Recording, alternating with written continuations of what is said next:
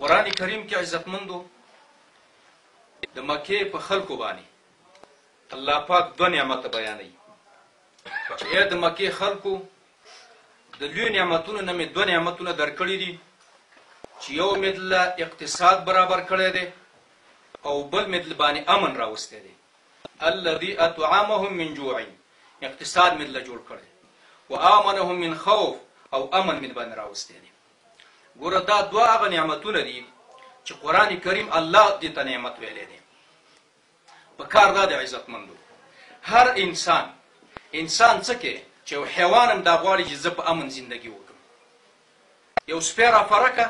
هغه خوا دې خوا ګوري او تر بل تر ته ګوري ځان د خلاصي لار ګوري چې زما د امن لار کومه ده چې په هغې باندې زه وځم نو زه ته چې ورسېږي هلته کښېني دمه وکړي یعنې امن هر یو حیوان غواړي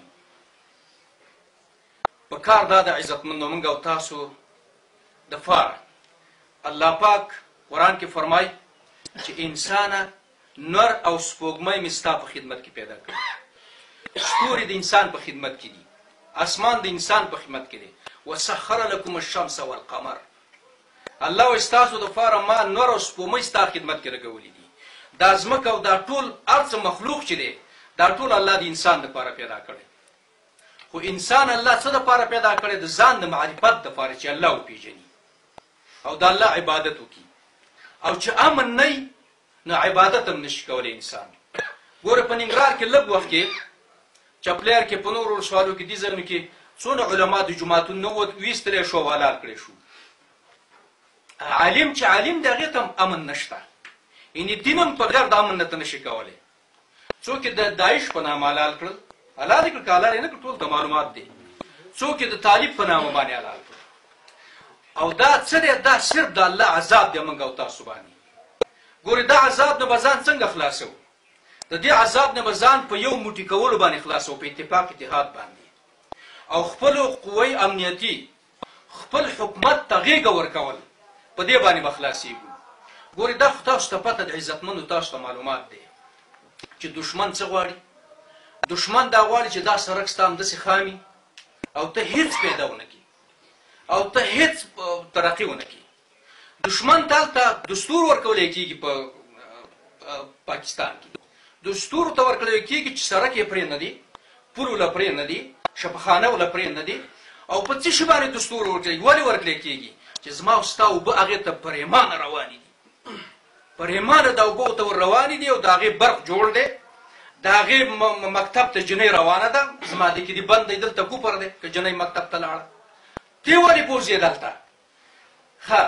پریمان اوبه روانې دغه برق جوړ دی دغه شپخانه جوړه ده دغه سرک جوړ دی دغه متن او زما او ستا په دغه کې تجارت کوي د دې ځای نه دا سپین کاڼی ستا د دې ملک نه وړي او هلته کې په خپل تجارت کوي دا څه وایي اوبه خړې کړه او میان پکې ونیسه مسلمانانو لږ فکر پکار دی دې دماغ کې سوچ پکار دی ګوره دا خلک چې هلته راځي او هلته یې کورونه دي، راځي او دلته ډز او بېرته ځي، په دې غره باندې یې پلا وړي. وایي دلته راوله ما په شا، زما په شانه کور کېنه او بیا وجنګېږه کنه که نر یې. ها؟ عرض دا دی عزتمندو، دا ټول دستور دی، دا ټول د استخباراتو جنګ دی، په دې کې تاسو ته پته ده، معلومات دي تاسو ته، زه په دې کې څه نه وایم. موږ دا دی د جنګ په حالت کې واړه وو او دې حد ته راورسېدو، د نسو خاوند یم په خپله، ان دې حد ته په جنګ کې راورسېدو، خو څه پیدا مو کړه؟ څومره ډېر څه هم د لاسه ورکړل، ډېر سمدلاسه ورکړ او ډېر سمدلاسه ورکړي دي ارزدار عزتمندو چې منګ او تاسو نن په خپل وبو باندې وجلې کېږو منګ او تاسو نن په خپل خاور وجلې کېږو منګ او تاسو نن په خپل جلغوزو وجلې کېږو نو منګ او تاسو نن په خپل شوکانی وجلې کېږو منګ او تاسو نن په په خپل عزت وجلې کېږو ارزدار عزتمندو چې دا جنگ سره رواني شپخانه دي نه جوړيږي سرک دې نه جوړېږي دارنګ مدرسه دې نه جوړېږي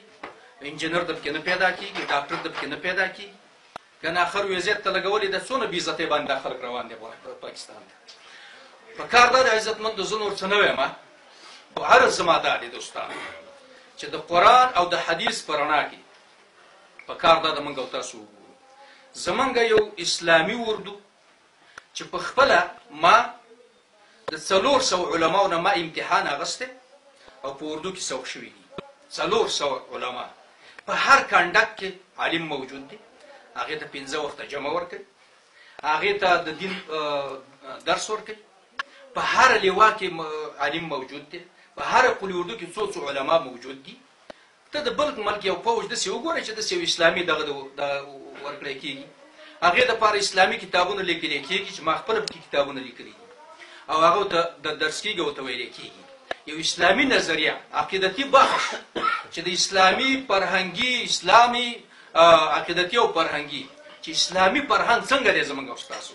زمونږ او تاسو اردو ماشاءالله د الله په فضل او په رحم سره په دیني امورو داسې سمبال ده چې د بلکې یو ملک په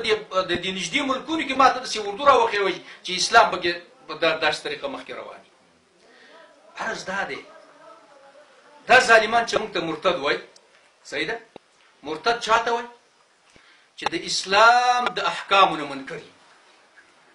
زه خپل یو ملایم لیسانس ملایم د عربستان تحصیلات لرم